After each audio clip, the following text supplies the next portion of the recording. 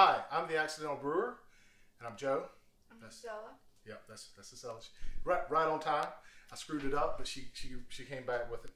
Um, so we're doing the final part of our pumpkin mead, where we're going to uh, bottle it, and then um, I'll do a tasting of it in a couple of, you know, in like a week or so. Um, but uh, we started this on 10 17 20. It was at 1.1. It's gone down to 1.0, and then we've just been letting it bottle condition.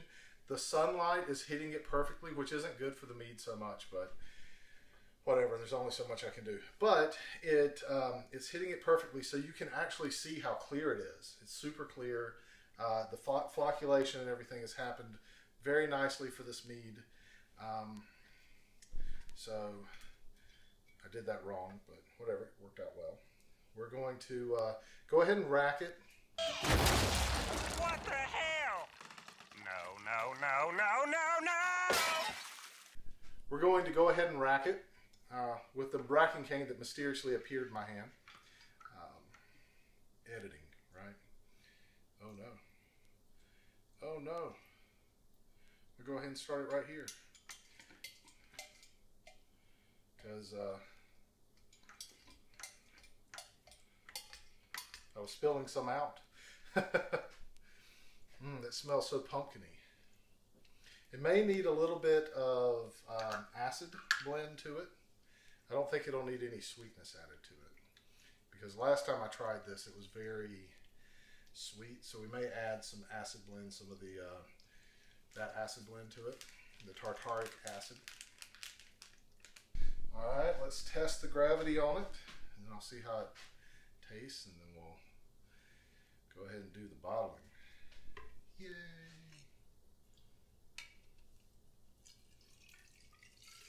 I don't think there's any reason it would have went up in gravity, but yeah, who knows?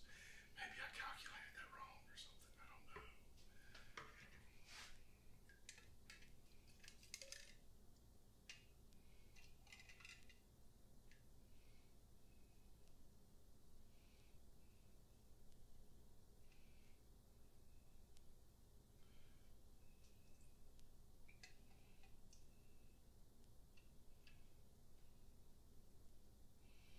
All right. So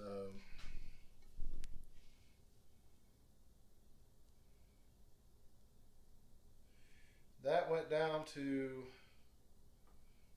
1.0. So it's still at 1. Didn't change. Now let's taste it, see how it tastes.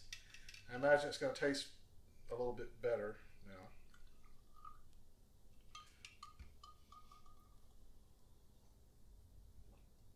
It definitely needs a little bit of acid blend. Like we need to put about a fourth of a teaspoon of acid blend into it. It has, um, it had, whoa, man, that flavor just evolves so nicely.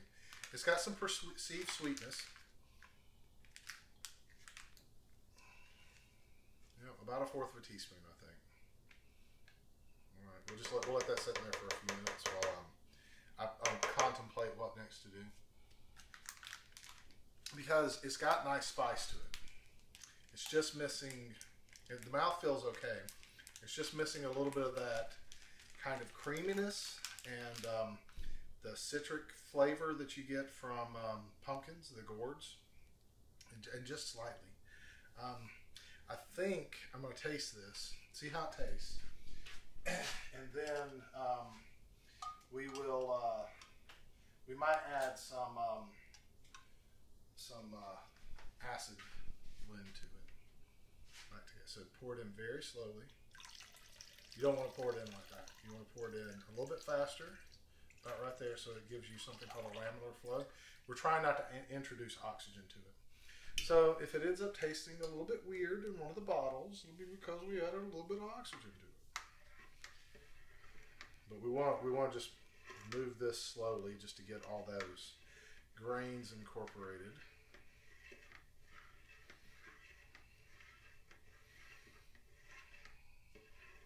I'm just going to let that sit there for a moment.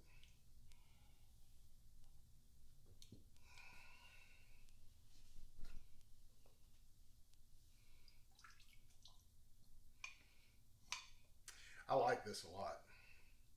It's um, it's kind of like having pumpkin pie in a glass. It's very similar to it. That added a little bit of mouthfeel, a little bit of tartness. Kind of like it. I do think it needs um, some of the creaminess that some of that lactic acid could add. So.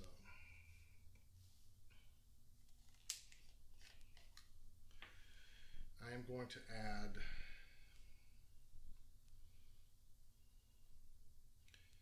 two milliliters to it just because I think that will help. It really, it really won't affect the flavor too much. It'll just, it'll be a very slight perceived flavor effect.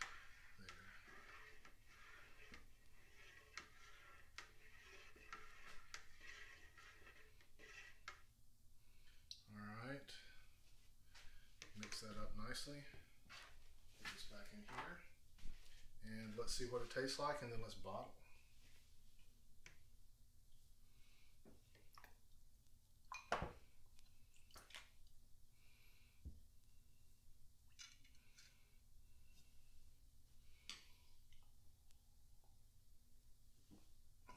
Yeah, that, that balanced it out a little bit more. So we'll for a bit and um, see what ends up happening with it as we go along. I think that it ended up being rather nice compared to what I kind of thought it would be like. This was a fun experiment. I do have to go get the uh, little thing. Actually, I don't have to. We can just sit in there.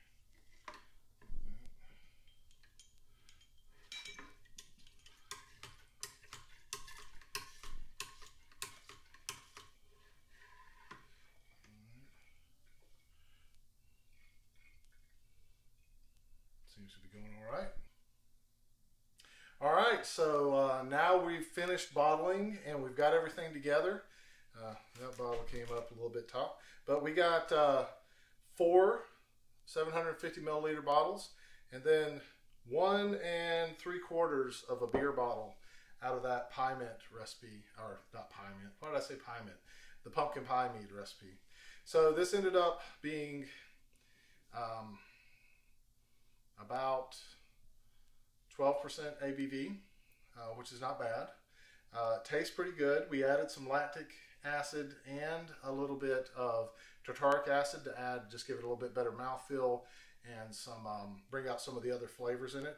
It is a dry mead, so it's not very sweet, um, but it has a very nice pumpkin pie flavor to it. So uh, I'm pretty happy with it overall. And uh, we're going to be doing the pumpkin mead tasting. Uh, this was uh, done on or bottled on December 29th, and um, it is about a month old. Um, there's no firm, there's no like petillant carbonation or anything like that. I mean, there was no or anything like that, even though there seemed to be a good seal.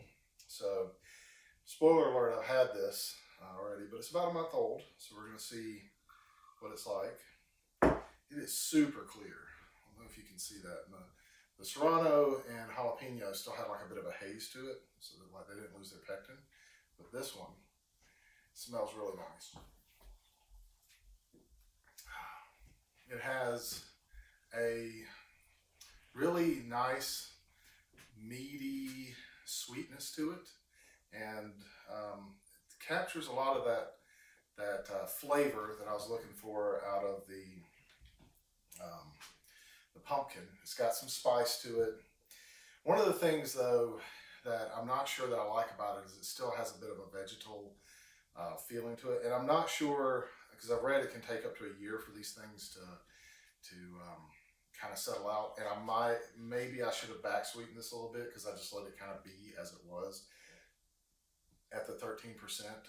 Um, but I probably could have put some more honey back in this, maybe like a, a nice orange blossom or something like that to bring out some of those spices.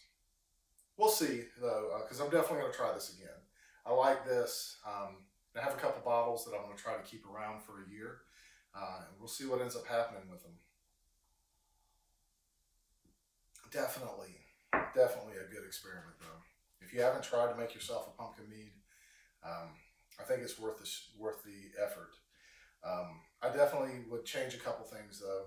Um, in secondary, I would add more spices to this, um, bringing out some of those clove and star anise and things like that flavors that should be in there. And in secondary, I might have added a little bit of some uh, pumpkin, I don't know, like maybe some zest from the pumpkin or like some dried pumpkin or something like that. I'll have to think about this because it really needs a little something else. So it's good, but not perfect. Um, but yeah, well, this has been an episode of The Accidental Brewer. Um, thank you for watching. I hope that you enjoy your holiday spiced pumpkin stuff later on in the year, like I am. But this is a really great warm winter drink. Think of sitting outside by the fire. Oh, that'd be great. Uh, but that's it. Thank you for watching The Accidental Brewer. We've got a Patreon and all that other stuff Instagram, Twitter, blah, blah, blah. But the most important thing that we need from you is subscriptions and watch time on YouTube. So we would love it if you'd watch some of our other videos, which are going to be somewhere around over here or there, or maybe over here. I'm not really sure. Uh, but they're somewhere in this area. So if you watch those, that'd be great. Otherwise, thank you for watching, and we'll see you next time.